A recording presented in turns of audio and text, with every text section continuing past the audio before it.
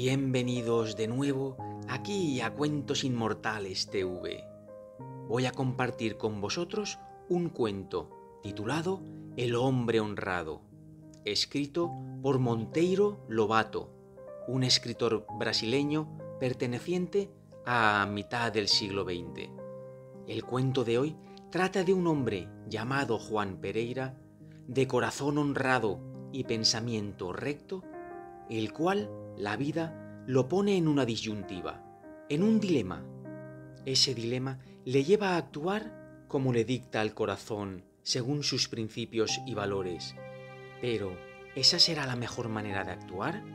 Porque a partir de ahí, el cuento pega un giro asombroso. Durante el cuento iremos reflexionando y al final veréis cómo hay que hacerse determinadas preguntas porque el cuento es muy profundo. Espero que os guste. El hombre honrado. Excelente sujeto. De allí nada malo viene al mundo. Y honrado. Ah, eso sí, honrado como no hay otro. Era lo que todos decían de Juan Pereira. Juan Pereira trabajaba en una repartición pública. Estuvo primero en una escribanía y después en el comercio como dependiente del emporio, el emperador del calzado. Dejó el emporio por discrepar con la técnica comercial del emperador, que aplicaba con fervor el viejísimo lema gato por liebre, y dejó la escribanía por no conseguir aumentar con sumas extras el lucro legal del honradísimo escribano, porque el muy ingenuo se atenía al reglamento de costas, como si aquello fuese la tabla de Moisés. Había ingresado a la repartición como amanuense, hacía ya unos diez años, sin conseguir dar un paso adelante. Nadie se empeñaba en su favor, pues por honradez, no por orgullo, era incapaz de recurrir a los expedientes empleados con tanto acierto por sus compañeros en la lucha por el ascenso. Quiero ascender por merecimiento, legalmente, honradamente, solía decir, provocando sonrisas piadosas en los labios de los que saben lo que es la vida. Juan Pereira se había casado muy joven, por amor, pues no concebía otra forma de casamiento, y tenía ya dos hijas señoritas. Como fuese sobremanera corto su sueldo, la pequeña familia aliviaba sus penurias con la renta complementaria de los trabajos caseros.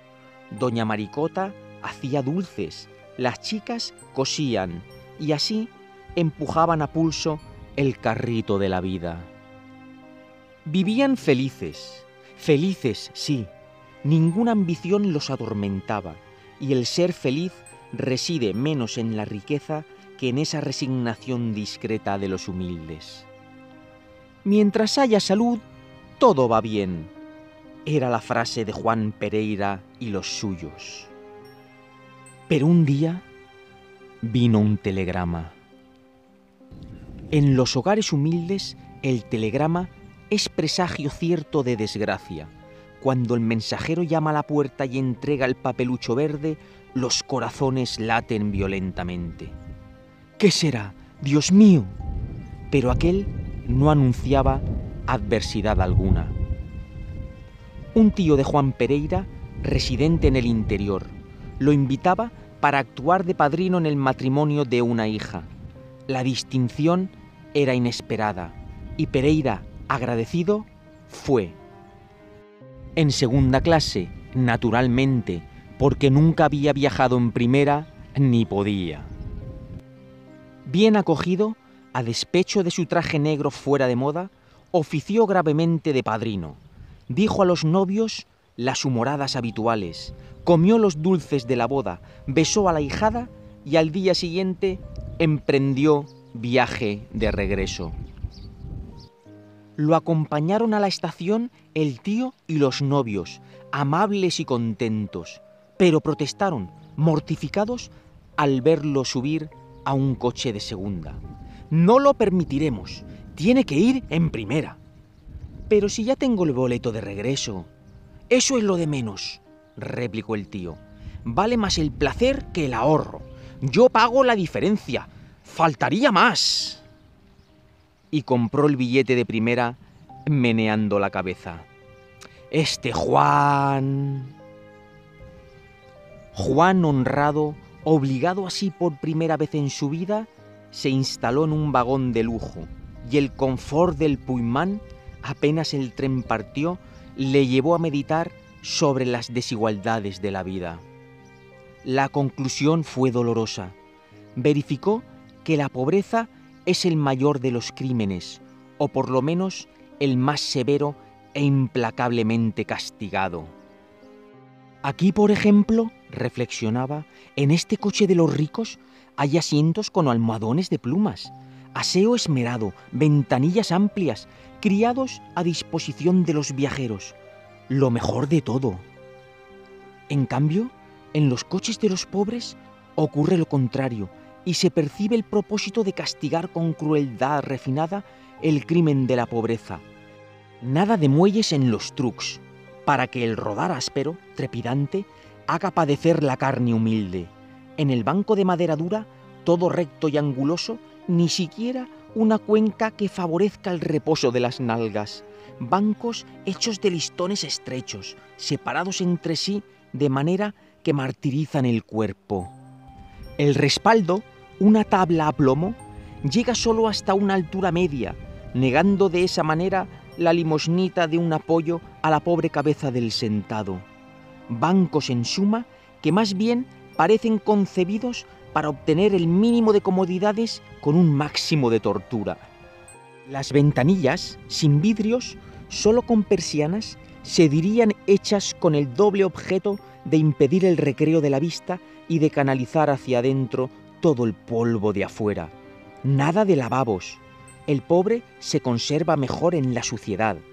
¿Agua para beber? Que vaya a tener sed en casa de su abuela. Juan Pereira sonrió.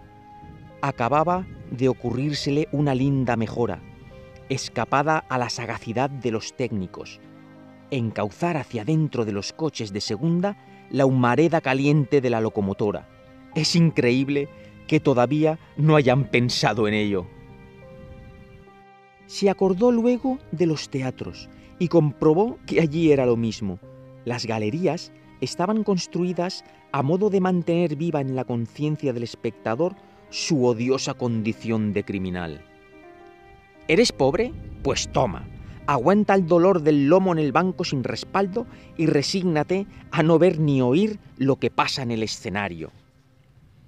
Juan Pereira filosofaba aún estas desconsoladoras filosofías cuando el tren llegó. Desembarcaron todos, a lo rico, paquetes y valijas a manos de solícitos cargadores. Solamente él conducía la suya, pequeñita maleta de cartón, imitación de cuero. Salió de la estación.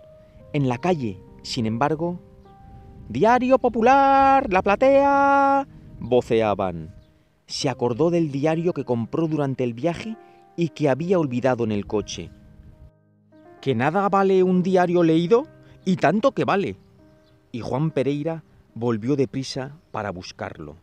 Siempre es un pedazo más de papel en la casa. Al entrar en el Puigman vacío, tropezó con un paquete caído en el suelo. Vaya, no soy yo solo el olvidadizo, reflexionó sonriendo y recogiéndolo. ¿Qué sería? La curiosidad no es privilegio de las mujeres. Pereira palpó el envoltorio, lo olió y por fin rasgó levemente un ángulo del paquete. ¡Dinero! Era dinero, en efecto, mucho dinero, un dineral. Ya se va definiendo aquí la personalidad de el personaje Juan Pereira hombre con pocos recursos económicos y con una familia a la que alimentar. Observar, hombre ahorrador y poco despilfarrador.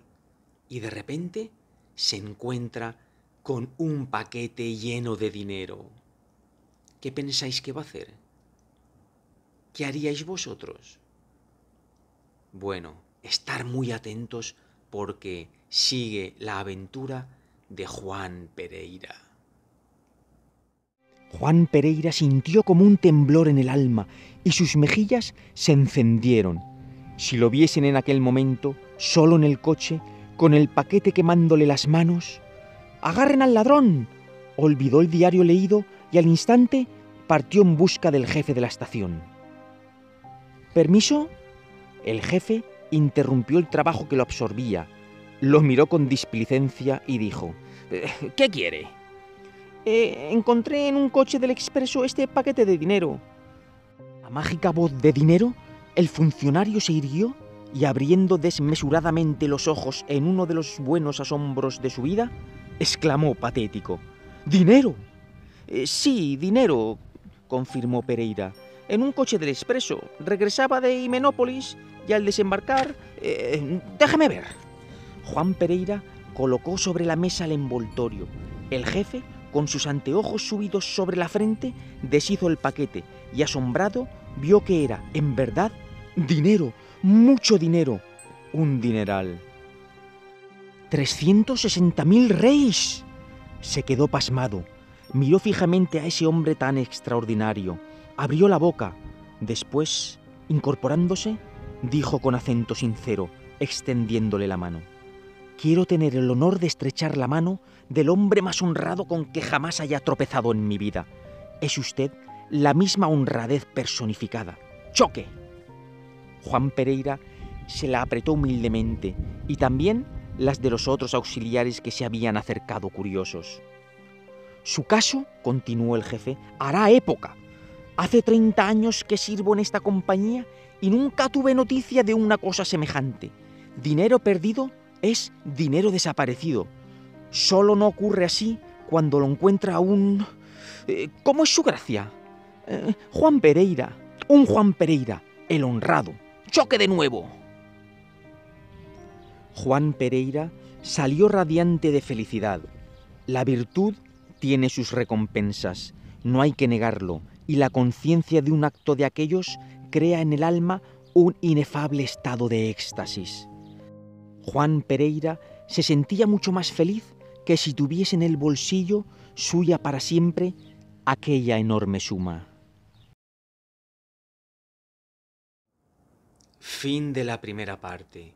Queridos oyentes de Cuentos Inmortales TV, hasta este momento todos son parabienes para nuestro personaje, Juan Pereira.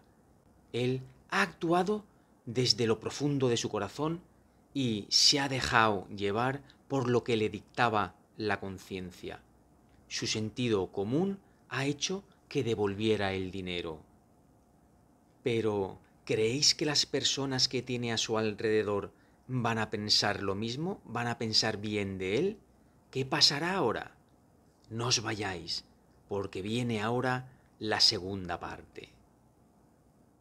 En su casa narró el hecho minuciosamente, sin indicar, sin embargo, el monto de lo hallado. Has hecho muy bien, aprobó su esposa. Pobres pero honrados. Un hombre limpio vale más que un bolso de dinero. Siempre he dicho esto a las chicas, y ahí tenemos el ejemplo de este vecino nuestro de la izquierda, que es rico pero roñoso como un cochino.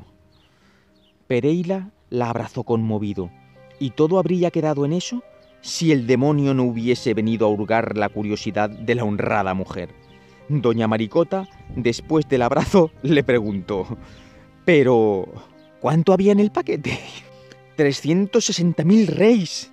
La mujer parpadeó seis veces, como si le hubiesen arrojado tierra a los ojos. ¿Cuánto has dicho?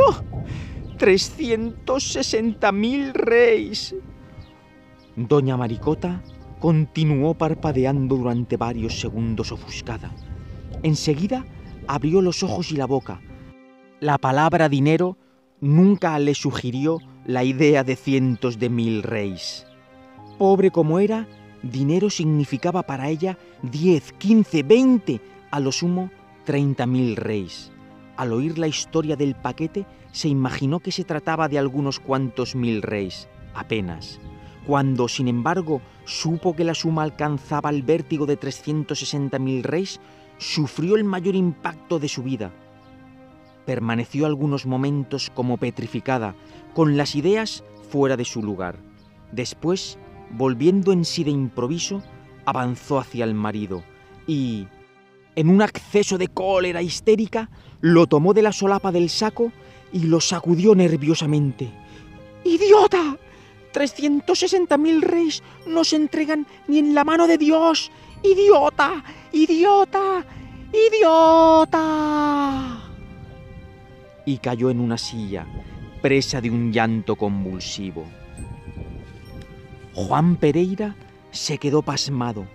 ¿Sería posible haber vivido tantos años con aquella criatura y no conocerle todavía el alma a fondo? Trató de explicarle que sería absurdo variar de proceder porque variaba la cantidad, que tan ladrón es quien hurta cien mil reis como quien roba un cuarto de mil reis, que la moral... Pero la mujer lo interrumpió con otra sarta de insultos y gritos histéricos y se retiró a su cuarto, mesándose los cabellos, loca de desesperación. Las hijas estaban en la calle.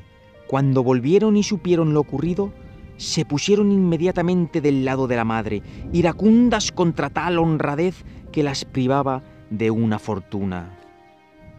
Usted, papá. Juan Pereira quiso imponer su autoridad paterna, regañó y les hizo ver cuán indecoroso era pensar de semejante manera. Fue peor. Las muchachas se echaron a reír con sarcasmo. Después suspiraron, el corazón puesto en la vida regalada que tendrían si el padre hubiese tenido mejor cabeza. Automóvil, un chalet en Higienópolis, medias de seda, sombreros de Madame Lucille, vestidos de tafetán. ¿Tafetán? ¡Seda! ¡La! Niñas, exclamó Pereira, no permito. Ellas sonrieron y se retiraron de la sala, murmurando con desprecio. Pobre, hasta da lástima. Aquella nunca imaginada irreverencia le apenó más aún que el rechazo de la esposa. ¿Por qué? Tener aquella recompensa después de toda una vida de sacrificios orientada por el culto severo del honor, insultos de la esposa, censura y sarcasmo de las hijas. ¿Se habría acaso equivocado? Comprobó que sí, se había equivocado en un punto. Debió haber entregado el dinero en secreto, de manera que nadie tuviese noticias del caso. Los diarios del día siguiente comentaban el insólito acontecimiento, alabaron con calor aquel gesto raro, nobilísimo, revelador de las finas cualidades morales que cimientan el carácter de nuestro pueblo. La mujer leyó la noticia en voz alta, durante el almuerzo y como no había postre, dijo a la hija, Oye, Candoca, lleva este elogio al almacén y ve si nos compras con él medio kilo de mermelada. Juan Pereira la miró con infinita tristeza. No dijo una palabra. Soltó el cubierto, se levantó, tomó el sombrero y salió. Final de la segunda parte. Aquí parece ya que empiezan a cambiar las tornas. Lo que antes eran felicitaciones y palmaditas en la espalda se empiezan a transformar en malas caras y malos sentimientos hacia su persona. ¿Vosotros pensáis que ha obrado bien? ¿O que su mujer maricota se está pasando un poquito de la raya? Bueno, Vamos a escuchar la tercera parte porque ahora se va a la oficina. Veamos lo que piensan sus compañeros de trabajo. En la oficina se consoló. Lo recibieron con parabienes y elogios. Tu acción es de aquellas que honran a la especie humana, dijo estrechándole la mano un compañero.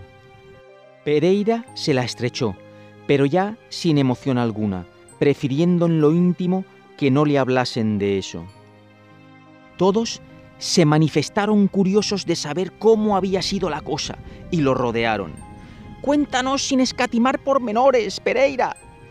Muy sencillo, respondió secamente. Encontré un paquete de dinero que no era mío y lo entregué. Eso es todo. ¿Al dueño? No, a un jefe, allá... Muy bien, pero escucha, no debiste haber entregado el dinero antes de saber a quién pertenecía. Exactamente, añadió otro, antes de saber a quién pertenecía y antes de que el dueño lo reclamase. Y probase, probase que era suyo, concluyó un tercero. Juan Pereira se irritó. Pero, ¿qué les importa a ustedes todo esto?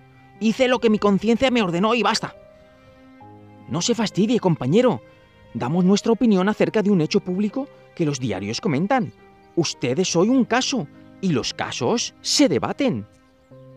El jefe de la sección entró en ese momento y la conversación cesó. Cada cual ocupó su puesto y Juan se absorbió en el trabajo con el ceño fruncido y el corazón atormentado. A la noche, en la cama, más sosegada ya, doña Maricota volvió al asunto. Fuiste demasiado precipitado, Juan. No debiste darte tanta prisa para entregar el paquete. ¿Por qué no lo trajiste a casa primero? Yo hubiera querido al menos ver, tocar. Vaya una idea, ver, tocar. Le hubiera bastado a una pobretona como yo, que nunca palpó un billete de 50.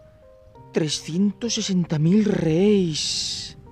Eh, eh, no suspires de esa manera, Maricota. Basta con la cena de ayer.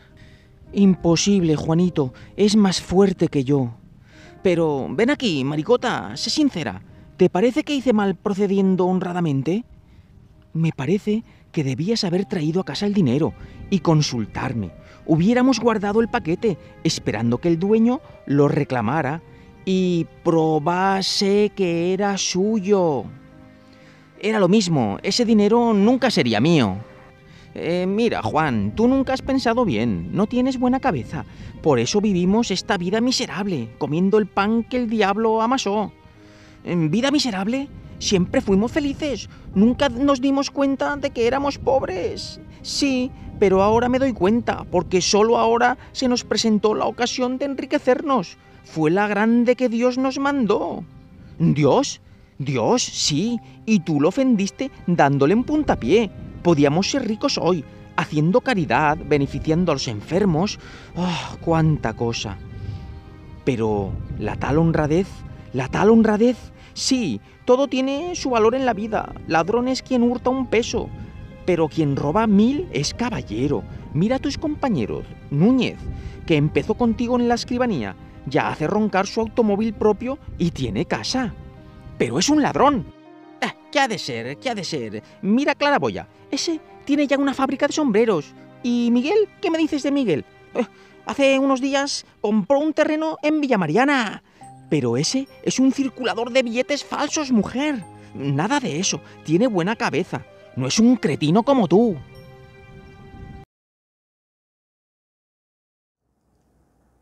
Final de la tercera parte. La situación para nuestro pobre personaje Juan Pereira empieza a ser ya prácticamente insoportable, inaguantable. Tiene presión en su casa, presión en la oficina. Lo que parecía una decisión acertada y llena de sentido común se ha transformado en un auténtico infierno para él. Y ahora el desenlace final. Por favor, estar atentos porque quiero vuestra opinión de este final tan inesperado. Y ya no tuvo compostura la vida del hombre honrado. Adiós paz, adiós concordia, adiós humildad. La casa se transformó en un perfecto infierno, solo oía suspiros, quejas, palabras duras, Perdió la esposa, no conseguía reconocer a la dulce compañera de antaño en la mujer amargada, irreductible de ideas que la visión de los 360.000 reyes había hecho nacer en su mente.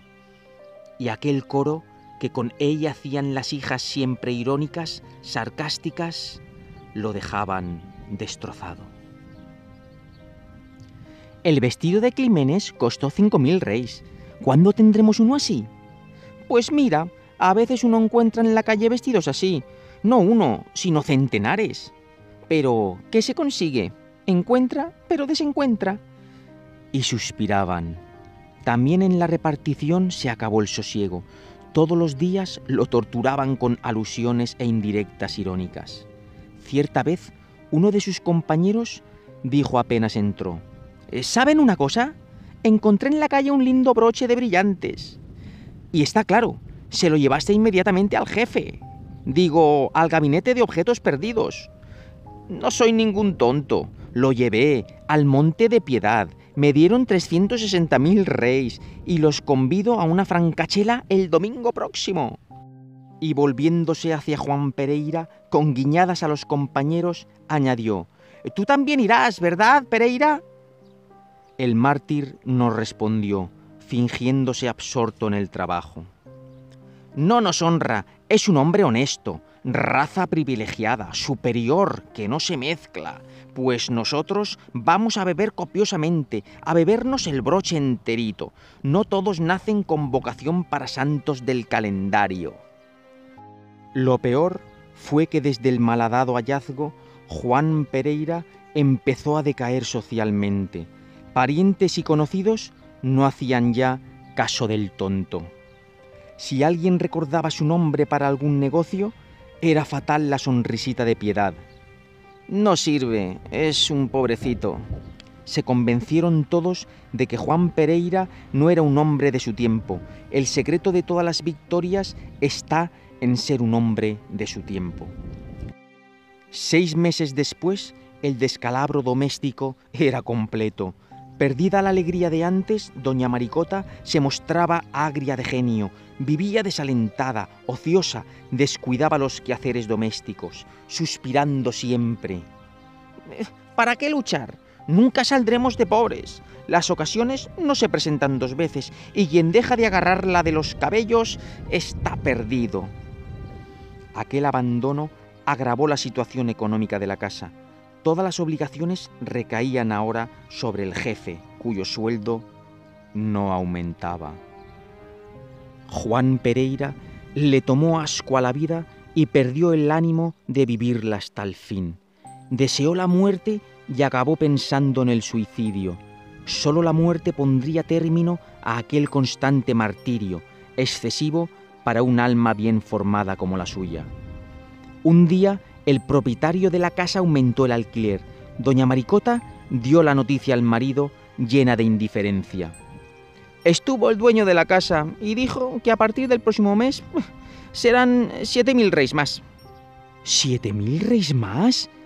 De lo contrario, a la calle.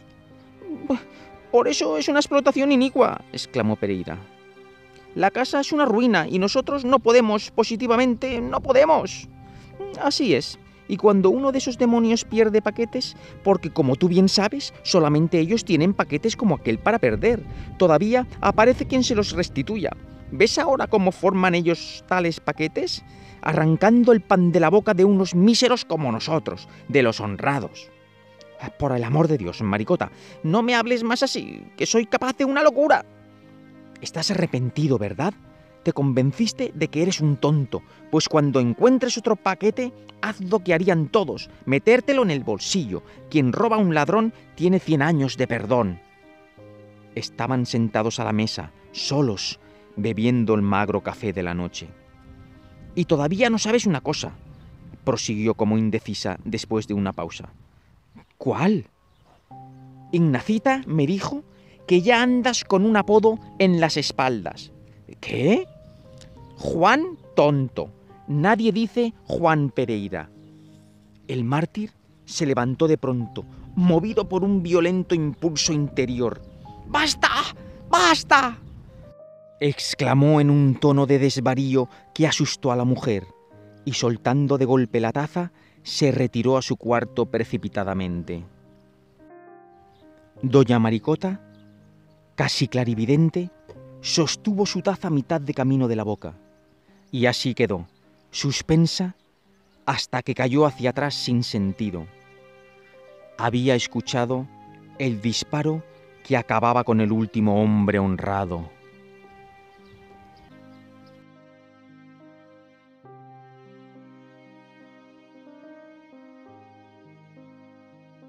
Bueno, este ha sido el final de Juan Pereira. Un final duro a la par que sorprendente. ¿Estáis conmigo? Lo que puede llegar a cambiar a las personas el dinero. Y eso que en este caso ni lo tenían. Imaginaros. Bueno, para mí este tipo de cuentos dejan un pozo difícil de olvidar. Espero que os haya gustado, dejarme vuestro like si es así, compartir, suscribiros si no lo estáis y por favor, por favor, por favor, cuidaros. Chao.